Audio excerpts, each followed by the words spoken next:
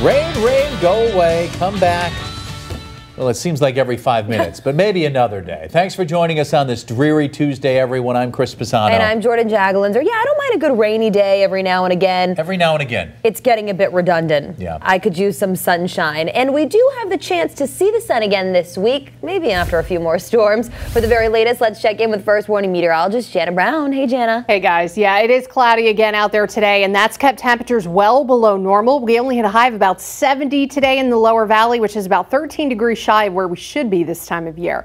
A lot of that due to that easterly breeze, too. That uh, middle and upper level wind flow is coming in straight off the ocean, and that's keeping those clouds firmly in place. Right now, we're at 68 degrees. We do have some reports that there is some patchy drizzle around uh, the West Springfield area this evening. So that is the potential that you may get a little damp if you are outside. Other than that, it's cloudy and it's mild with temperatures in the 60s for most. Dew points are also in the 60s. We are going to start to feel those climb as a warm front approaches overnight into tomorrow morning. Now, we do have cloudy skies. We're not seeing anything on the radar, but drizzle usually doesn't show up anyway. So some patchy drizzle, a little bit of mist and fog possible throughout the night. If you're planning on taking your pup out for a walk, we have Charlie for you today for your dog walking forecast. Just make sure that you maybe grab a, a jacket. You might need it anyway because it is on the cooler side. Muggy with a chance for a few sprinkles here and there, and then a couple of showers are possible overnight into tomorrow morning.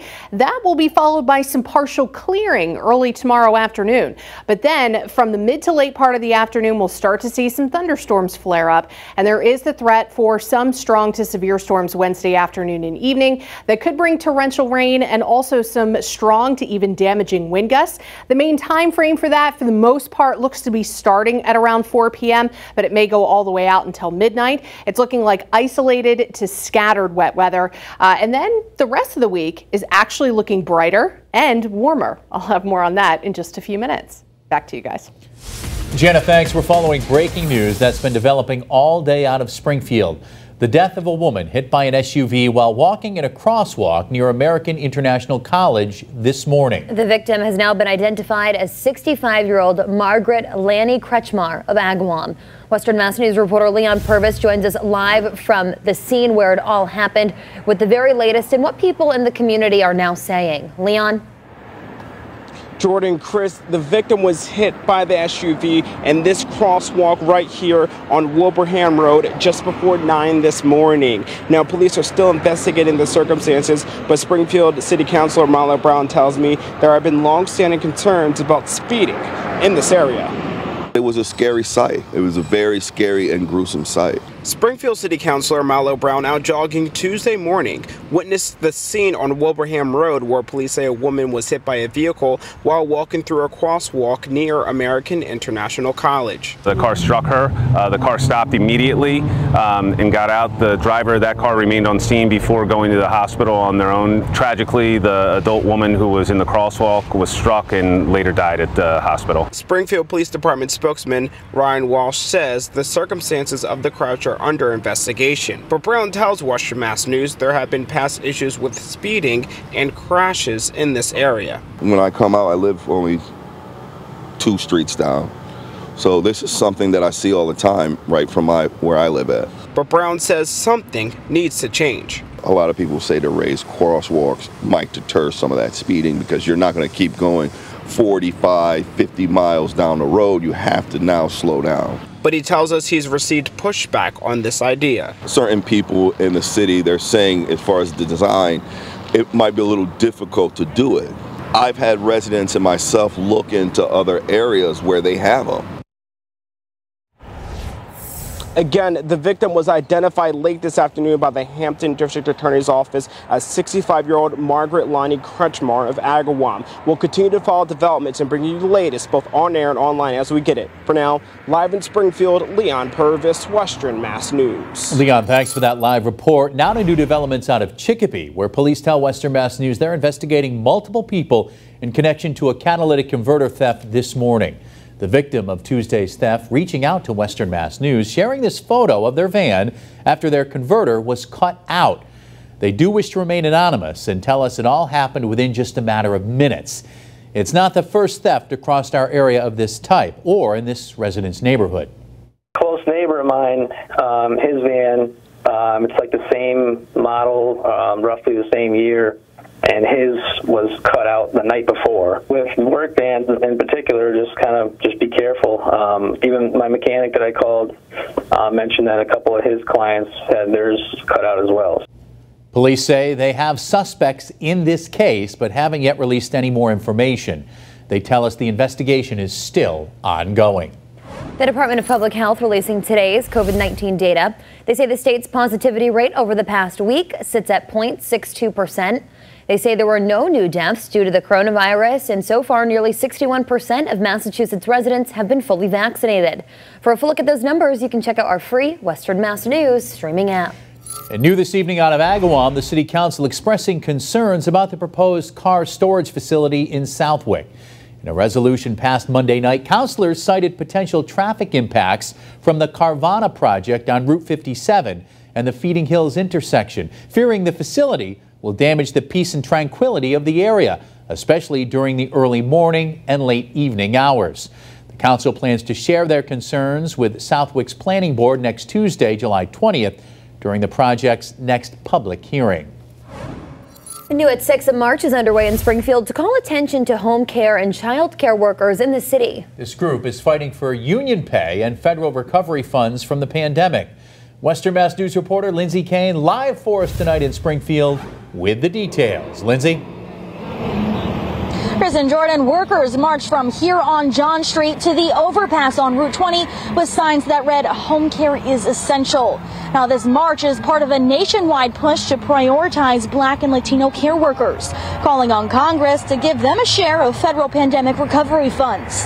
The vice president of the SEIU union tells Western Mass News there's around 8,000 home care employees in the city of Springfield, making them a backbone of the economy.